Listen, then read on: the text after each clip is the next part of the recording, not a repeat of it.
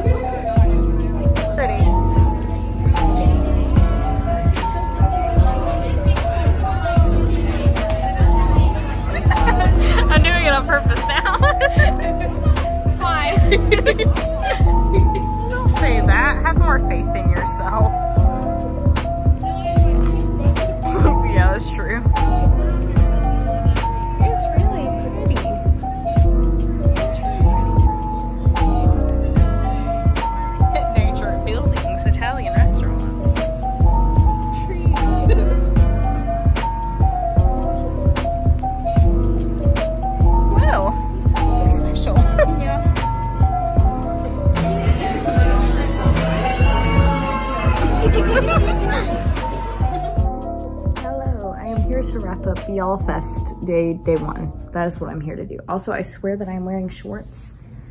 I'm wearing shorts. I'm wearing shorts. I swear, I'm wearing shorts.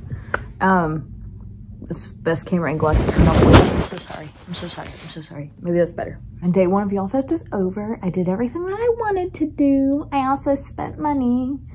Um, also, I'm an idiot. The reason that I'm an idiot is because um, I wanted to get the Scythe trilogy signed by Neal Shusterman, Shusterman, however you say it. And I had a paperback of Scythe and a paperback of Thunderhead and then a hardback of The Toll. And I was like, that that's gonna bother me. I need them all to be hardback. So I found a hardcover copy of Thunderhead and bought that at home at Barnes & Noble. And then I was trying to find a hardback of Scythe, but I couldn't find one. And so I was like, well, I'd rather have Thunderhead and the Toll signed in hardback and then like Scythe signed paperback than, you know, not have it signed at all. So I bought a paperback of Scythe because I had one. But if you, you've been watching my videos, you know that I, I painted the edges of my other paperback copy and it looked horrible. not horrible, but it's not great and I didn't want it to be signed. So um, bought a paperback, which is fine. However, Got to the venue today, went to Blue Bicycle Books, and guess what they had? A hardcover of Scythe. So I've now bought Scythe three separate times. Um, this one was actually already signed, but I wanted it to be personalized because I love the Scythe trilogy so much. It's one of my favorites. So I just, I really wanted it personalized, so I got it personalized. I absolutely love it. It's beautiful and amazing. Made me very happy. I got all three signed. I need to take the post-it notes out. Without ripping the book. Now I can read the series again and it'll be signed, which is great because I've been thinking about rereading the series. I've really been wanting to because I loved it. Look at this. Makes me so happy. Oh my gosh. Oh my gosh. So I got all three of the Scythe books signed. Um, and then I also met Aiden Thomas. Aiden an Aiden. Um, got Cemetery Boys signed. Got to take this post-it note out. He got so excited when he realized that we had the same name, but mine spelled with an A instead of an E. I love the I love the metallic marker thing that he's got going on here too. Made me very, very happy. This one I bought in Blue Bicycle Books.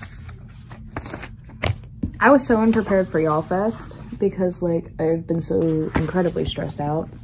And the last thing that I got signed today is Love and War by Melissa De La Cruz because I have the first two signed. The first two, I have the first and third book signed, but I didn't have this one signed, so I brought it and got it signed and personalized. So yes, um, got those signed today. Tomorrow, I'm gonna get these babies signed and I'm actually gonna try to grab another copy of Raybearer so I can get it signed for my friend if the copies in Blue Bicycle books aren't already signed. I bought this one today too. I've spent a lot of money, but I have this for tomorrow. I also want to buy Realm Breaker from Blue Bicycle Books tomorrow. Um, if it's not already signed, I'm going to get it signed because I'm going to see Victoria because I want her to sign my collector's editions of Red Queen and Glass Sword. Mm, so pretty. They're gorgeous. And of course, the first way that I'm starting out my day is I'm gonna see Adam Silvera, of course, and I'm gonna have them sign More Happy Than Not, and they both die at the end. And I'm gonna try to make a drawing for him tonight, because I absolutely love Adam so, so, so much. And the last time that I met him, I gave him a drawing and he loved it and it made him so happy. So I wanna make him another one. The haul for the day, I guess, I don't know. Um, got this really nice bookmark at Neal's signing. Oh my gosh, like it's also like you cannot tell, it's so thick. It's a very nice bookmark. Like, I actually really, really like this. And then I also got a Y'allfest bookmark, of course, of course. Oh, I also bought um, Battle Dragons by Alex London. So I was walking around Blue Bicycle Books and I saw it, and if you know me, you know that I love Alex London. I just realized that the inside of this is like dragon scales. That is so freaking cool. Wait, what does it look like naked? Oh my gosh, book one. Wait, I didn't realize this is the beginning of a series. That makes me very happy. Oh my gosh, that's so cool. Love, I love Alex London though. And then I also got another bookmark. Oh, and then also at the merch booth, um, I bought stuff, but also I spun a little wheel and I got a free shirt. Got a free Y'all Fest shirt. This is the free shirt. It's a small and so my friend Kari was actually with me today because she lives in Charleston. And so like she was just hanging out with me and she was just there for moral support.